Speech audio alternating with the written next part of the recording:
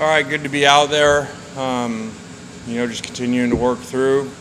You know, like we said before, it's a little bit different because so many new guys. It's almost like a training camp feel.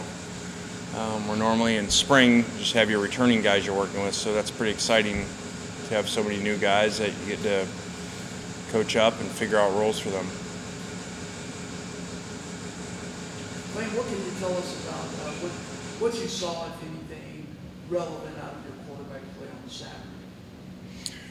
Um, well, first that wasn't a scrimmage, so all we did was practice. We just went in the stadium for part of it. So, um, you know, it wasn't near the evaluation of a scrimmage format. But, you know, I, I think they're all doing things good.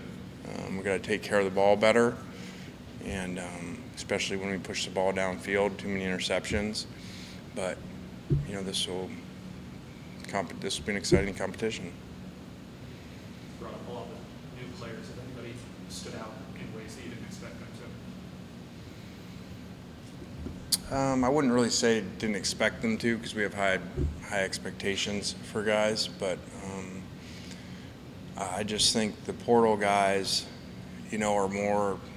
It's not a hit and miss as a high school guy because you're seeing them play college football. So, um, you know, those guys, not to just focus on them, but they have looked really good. And, you know, that, you know, we didn't really take a lot of guys necessarily that were at a major place but not playing, you know, that left just because they were, hap- were unhappy because they were sitting on the bench. And then that's more of a wild card because you're getting them and you really haven't seen film. You know, maybe they just sat out and redshirted or barely played most of these guys played.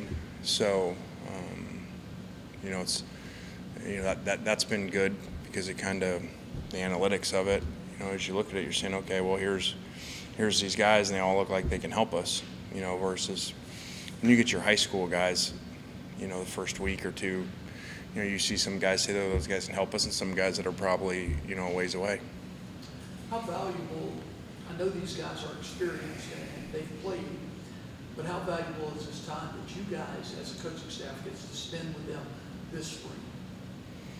Um, really valuable, you know, to um, you know have a lot of returning guys, but then have all these new guys, and then it's challenging. So it's exciting, you know, because there's more to do than just your culture's already set. These kids already know expectations. I mean, these kids don't know how we tape for practice. You know, they don't know how we finish in practice, how you know, all kinds of things. So um, that that part's good. It's challenging for all the coaches to make sure they're going back, you know, to step one. Kind of your thoughts on this first week of the O line, kind of putting guys, veteran guys, in new spots. Just your thoughts this first week. Yeah, I think it's gone really well. Um, you know, uh, the addition of Mason over there has allowed us to do that, to move people really to start the dominoes of moving people, and um, I think it's looked good so far. What you see in spring positively or negatively? Does it impact how you use the remaining portal slots you have available? For sure. You know, it's, um, I don't know, I know I equate things to professional sports a lot or the NFL because that's really what we are now in all areas. It's professional sports. So um, to me, it's no different than having mini camps, looking at everybody, and then you have a few guys that you see right before training camp you know, that are still free agents out there that usually veteran guys that NFL says, okay, well, we're worried about this spot, you know, and so we go and sign somebody up there. So definitely. Not to ask for specifics, but has that happened yet at all? Where you're in your mind, you're like, we probably need somebody here as opposed to like you went Yeah, I mean, I I do that every day, but I try to slow up and wait for all the practices, you know, because um, you know that that's better to have more input, not try to fix problems right now. And so, just try to be patient with that. Lane, you mentioned Mason Brooks has allowed you some versatility up front on the offensive line.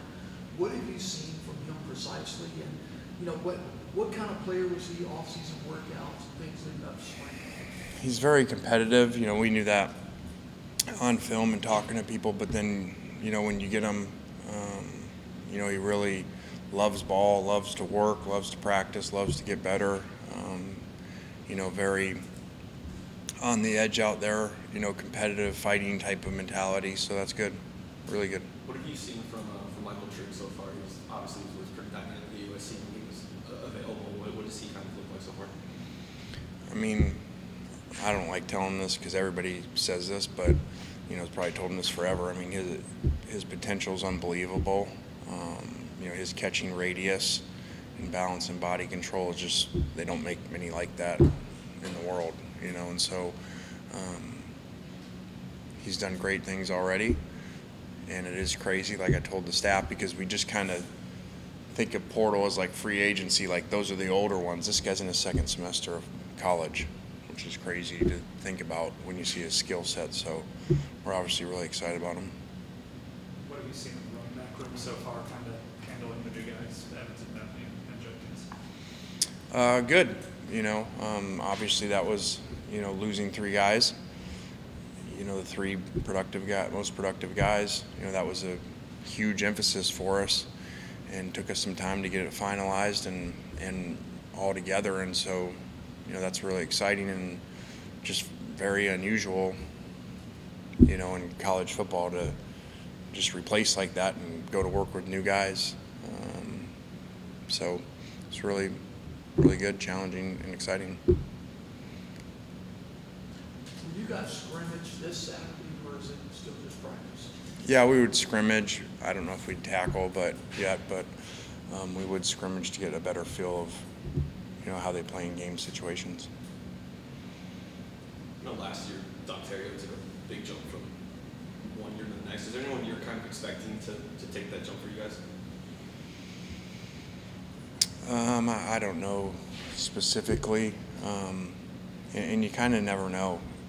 You know, like I would probably being around here would know I probably would have thought it would have been Braylon, you know, and then he had different injuries and, and setbacks, um, and so it was Drummond who, who ended up being the most productive and having a great year. So um, I'm I'm not really sure who that would be.